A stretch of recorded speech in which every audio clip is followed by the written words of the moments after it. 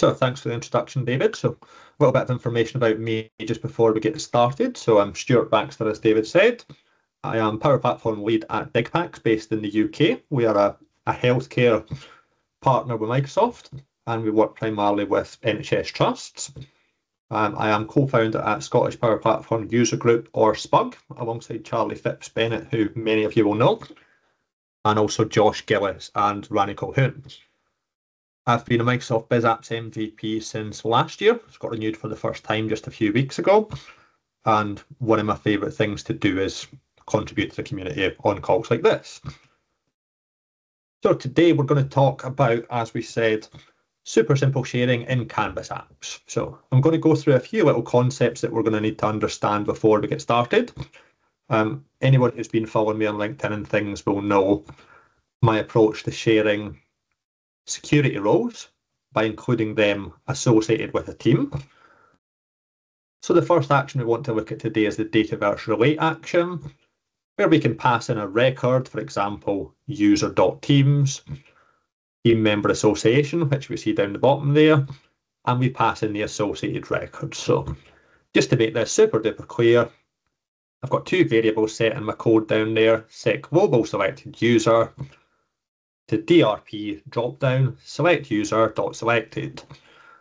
We then have our team, GBL selected team, from dropdown select team dot selected. And that is going to relate our two parts here. Ignore this well block code here. Um, my number one rule of writing comments and put a comment in that makes absolutely no sense. Ignore that for now. But yeah, really simple action, the relate action selected user.teams and then the team you want to associate with it. Um, anyone who's followed me, me on LinkedIn and stuff will have seen this concept before. Just wanted to bring this to the table for anyone who hasn't. So it's one thing sharing with that team. We also need to give the user access to the app. And for this, we can use the Power Platform from Makers Connector. This is an out-of-the-box Microsoft connector with some really powerful actions to help makers. And some of the key ones we're going to go through today is get apps and also get app row, sorry, edit app role assignment. We'll start by going through the get app action. We can provide an app name and it returns the app GUID. Um, worth mentioning it's get apps plural. So when we search for this, it's going to give us all of them. We then want to filter by properties.display name to our app called sharing is caring.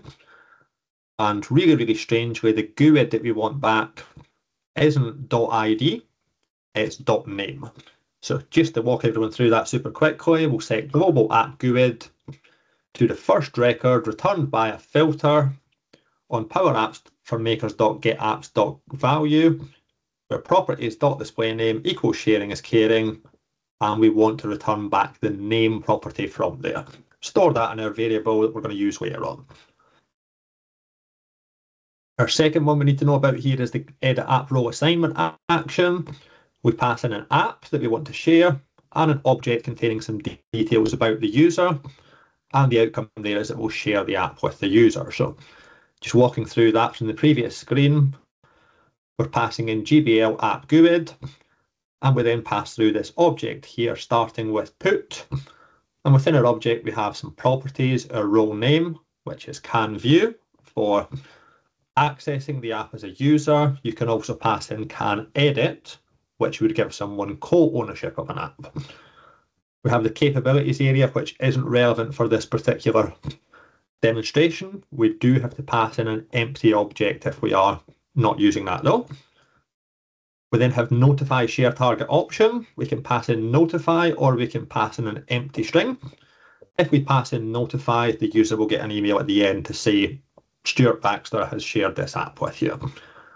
And last but not least, we pass in our principal object here from the, the relate action that we looked at before, GBL selected user, dot primary email in our email field, Azure AD object ID from our ID field. We could also pass them in from the Entra ID table passing in slightly different values. But from a Dataverse perspective, we would use primary email and Azure AD object ID.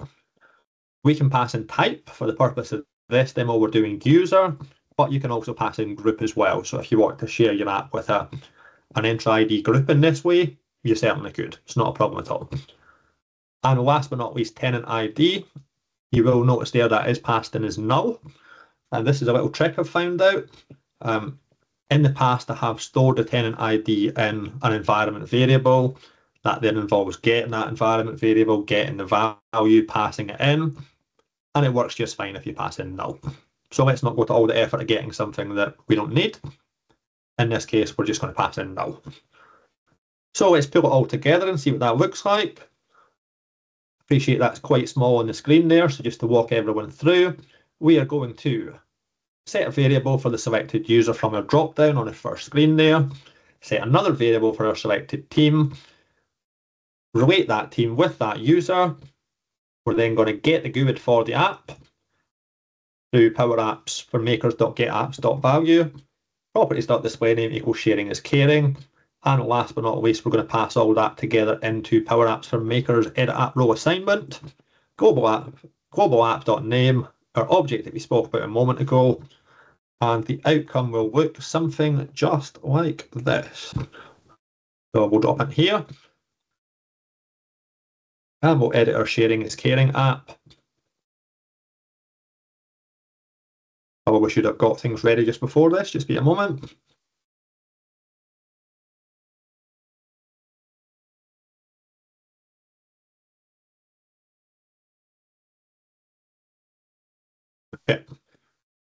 So we've got a really, really simple app here called Sharing is Caring. We are being asked to wait, it will just be a second, hopefully.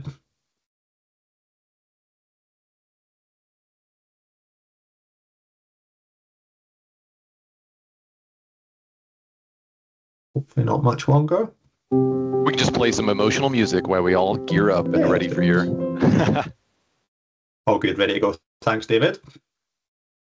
So I'm going to pop to our sharing screen and we have our drop-down select user. This is just a list of users. I use the user lookup view because that contains the columns that I need. You can use any view you like though. Second drop down here, that's just our teams. And if we pop into play in our app, going to select test user. We can see on the right here, test user doesn't have any teams. Strangely, I don't have any teams either. That's fine though.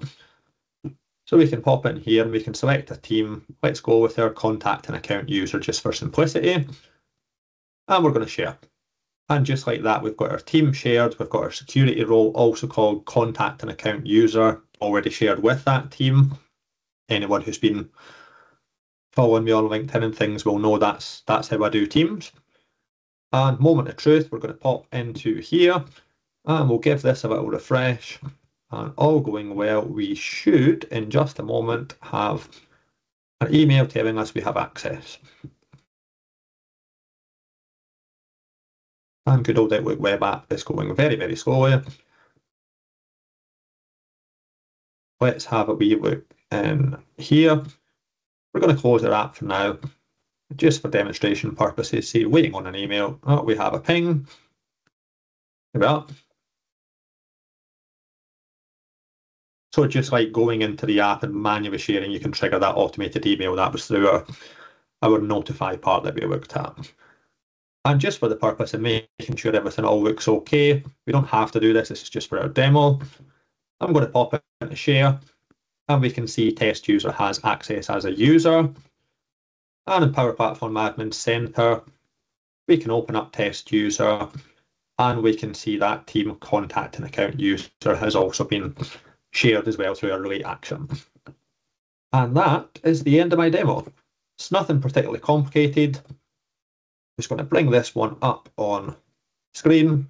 If anyone has any other questions around implementing security and so on within your apps, by all means reach out to me on LinkedIn. And I've also included there the documentation for the Power Apps for, for App Maker Connector as well.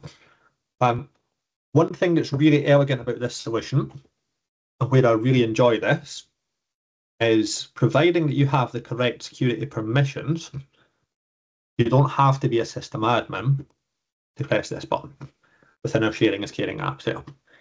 Um, a few points to mention. You definitely need access to append and append to users and to teams, because effectively that's relating those two together. If you are putting someone into a team that has a security role, you must have more permissions than that user. So a little example, let's say we've got a sharing is caring app and you have three security roles in there. You have sharer that has basic access. You have application admin that has slightly more access. And then you have system admin at the top of that, a regular standard system administrator role. System administrators could give access to app admins. App admins have to have the same permissions or more than sharers, for example. Um, one quirk I did notice as well, you do also need access to read permission from the, now which entity is it? Queues. I haven't quite figured out why you need that permission yet. I am diving into that a bit deeper. I will have a blog post coming in the next maybe two or three days, fully explaining all the security permissions you need. But the key thing to mention is you don't necessarily need system administrator. And that brings me to the end of my demo.